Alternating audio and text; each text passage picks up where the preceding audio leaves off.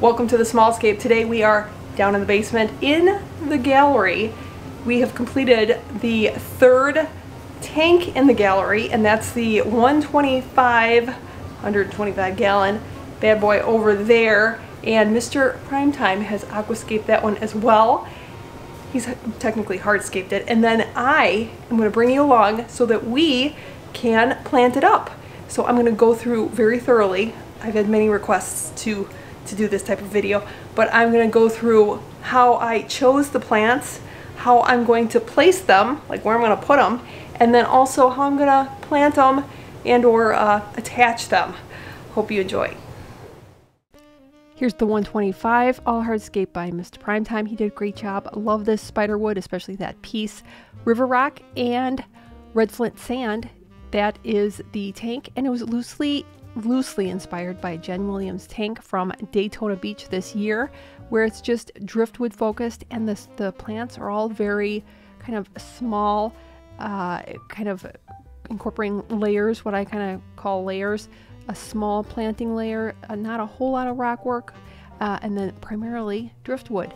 This is a uh, one of my favorites. This is Crypt Red Wendtii a whole bunch of them and I would like to plant up basically the center. So all those little areas in the center of the tank, hopefully there's enough room that I left uh, allowing for it because when you're choosing your plants, you want to know, are you planting into the substrate? If so, you need to have spaces. You need to know where you're going to be planting it or are you going to be attaching? I'm actually doing both. So a lot of those crypts are going to be in the center and then eventually they will fill in very nicely. Looking forward to that. But they are a little on the small side right now, but that's that's totally okay. I kind of enjoy watching a scape totally evolve and not just being done from the start. It's kind of cool. I love that little area right there. It just it reminds me of of like Tatooine. I don't know. Is it just me? It looks like a little like tree trunk growing out of there. So I don't want to plant it really heavily but I am going to put a couple of crypts in there. Now, frequently with crypts, I do not use the planting tweezers. I really don't because they're very, those little roots right there where the roots and then the stems meet, the stems can be very, very fragile. And I just, uh, I don't, I don't do really well. Plus, a lot of the crypts, if they've been kind of floating around, they kind of have a little bit of a bend.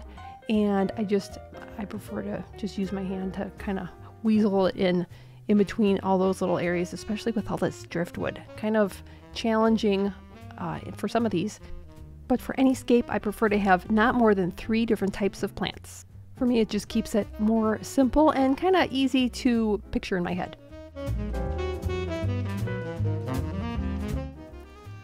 I really love crypts for pretty much any scape. Uh, I never used to. Right when I first started, I didn't really care much for them, but these this is Mr. Primetime's favorite plant, so you will very rarely see him do any kind of uh, any kind of scape or scape request without crypts in it. And as they fill in, they're going to look so beautiful.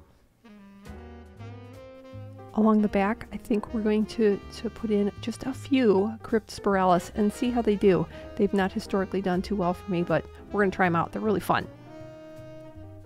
They fill in really, really well. Uh, at some point in the future, we have some maybe corkscrew val. It's Crypt Spiralis. Cryptspiralis, sorry, it's hard to see on camera, but that's what's going in there, and we're making progress.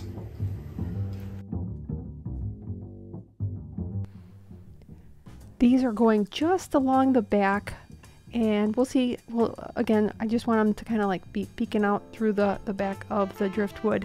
We'll see how they do but uh, i did use a i did use the tweezers here because they're just it's too far down. I'm even on a step stool but i there was no way i could i could reach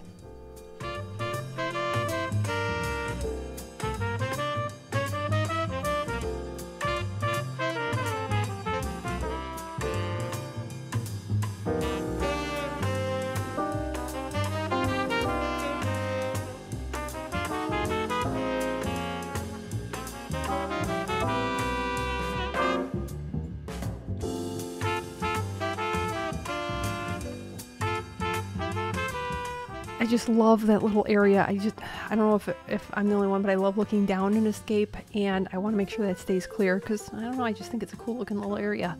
This is a a crypt. I don't remember the name. It looks like a sword to me, but uh, it was a crypt, and I can't remember what kind it was. But Mr. Primetime absolutely had to have it. We have one. So I figure I'm going to plant it behind that really unique piece of spider wood. Kind of keep it, the, the single the single loner plant kind of behind there so it doesn't really distract from the kind of focal point. kind of find that guy to be a nice little focal point since it's such a cool piece of driftwood. But I think I'm just going to put it right back here.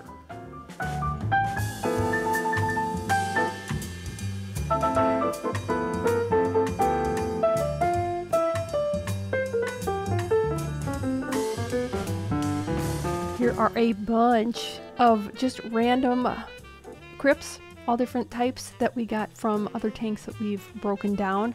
And it was kind of nice to go through these. And all I did was I kind of I combined usually two or three of them. So instead of just planting them all individually, I wanted like more masses of them scattered throughout the tank. And this should really be fun to watch them kind of growing with slightly different textures and even colors because I'm sure in here we've got reds, bronze, greens, all different colors, but a little tricky getting them pulled apart because all I did was basically chuck them in another tank.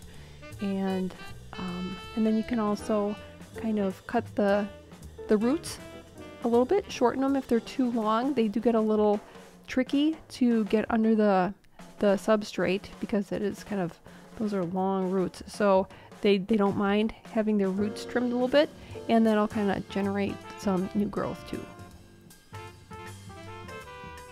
It's always fun using a step stool to get into the tank. I usually don't have to deal with that with my tiny little tanks, but this was, oh, I was so looking forward to this. This is my massive collection of little Anubias. I have, I'm not using that one, yuck. He's weird looking.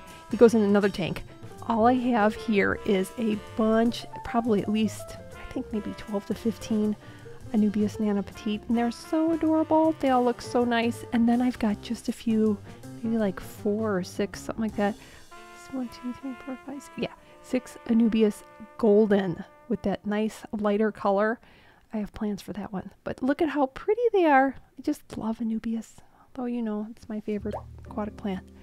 And those I'm going to be attaching with super glue, super glue gel, and I will be attaching them in all those little areas where driftwood, see right there, you, you can maybe spot some little spots where you see some sand, where I kind of try to dis disguise the super glue, where I attached the driftwood to the rockwork so that the driftwood does not float. And those will kind of cover those little areas up and just look more natural where they're just kind of poking up in between things that meet. And all along the bottom.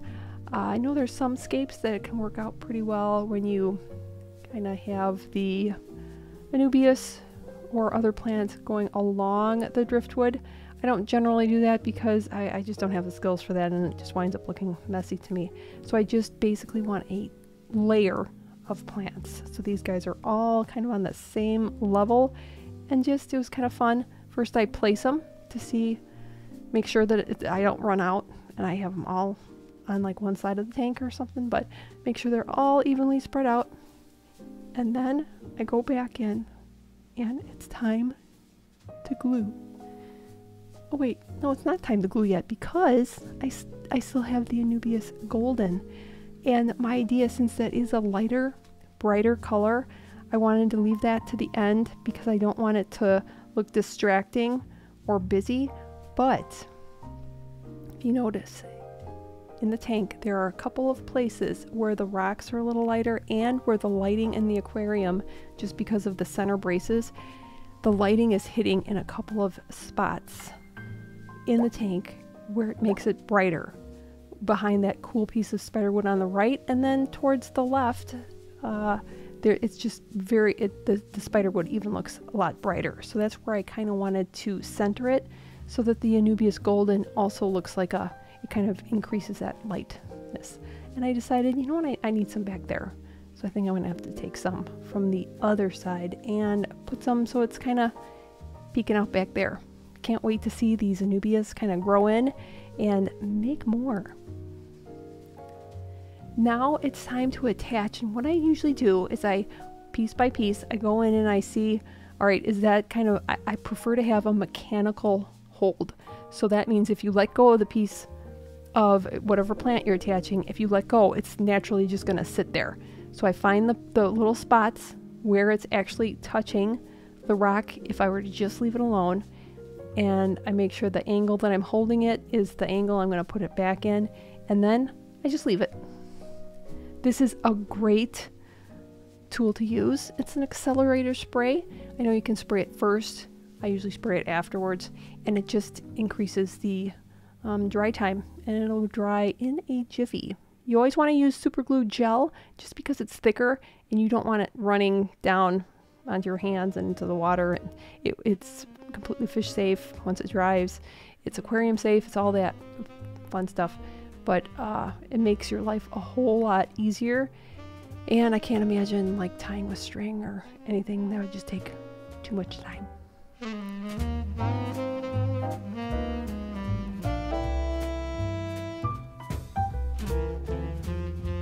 All I do is kind of place it and then I hold it and make sure that I know exactly which points are there roots that are touching.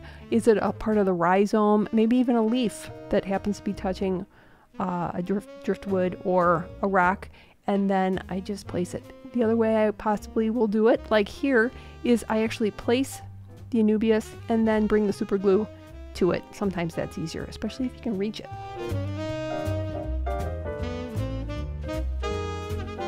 It does take, some time, and there will be times where you glue it and you hold it down and it just it, it won't stick uh, for whatever reason.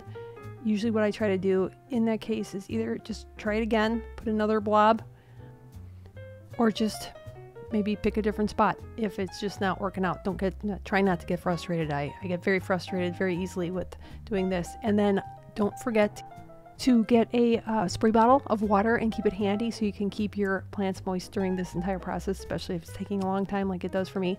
And um, somebody took my spray bottle, so I improvised.